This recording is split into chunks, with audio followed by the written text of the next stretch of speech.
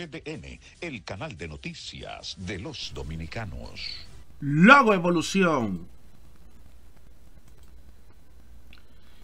La evolución gráfica de CDN, Canal 37 de UHF, República Dominicana.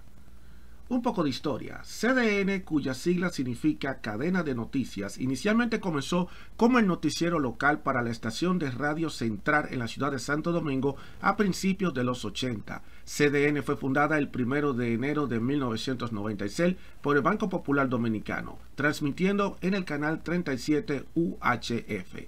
Produce noticias, cobertura especial y contenido deportivo. A continuación, la evolución de sus logos. Este es el primer logo de CDN en 1996 cuando inició su transmisión a través del canal 37. Aquí vemos uno de sus primeros Bumper ID visto en la televisión en sus primeros años.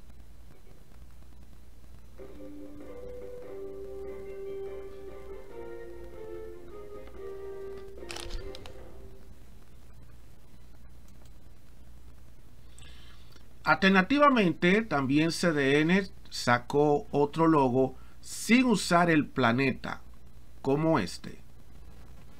Usted está en sintonía con CDN, líder nacional en noticias.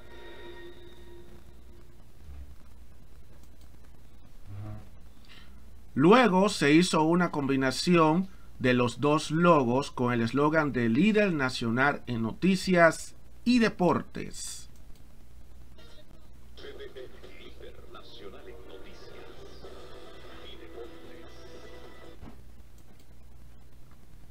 Luego el logo cambia en el 2011, ya un logo más estilítico, el planeta Tierra al lado y diciendo líder en noticias y deportes.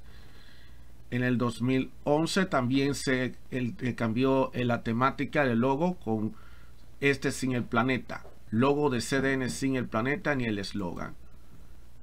Luego en el 2013 se incorpora la N que significa Nuria Piera, cuando Nuria Piera, una comunicadora y periodista, se integra a CDN.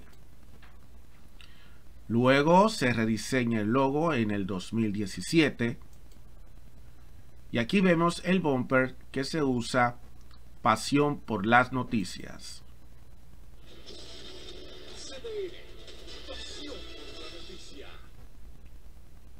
Ese es el logo que se utiliza entre el 2017 al 2018.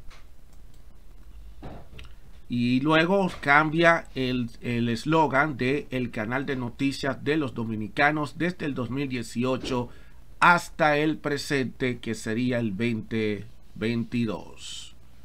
Y ahí ustedes están viendo la logo evolución de CDN, cadena de noticias, desde sus inicios hasta el presente que es el 2022.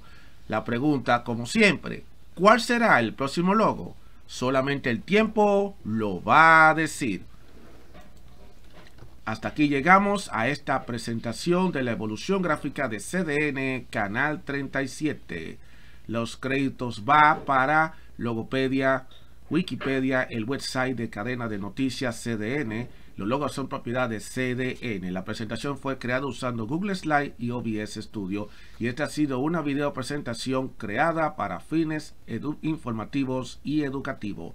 Muchísimas gracias y será hasta el siguiente video.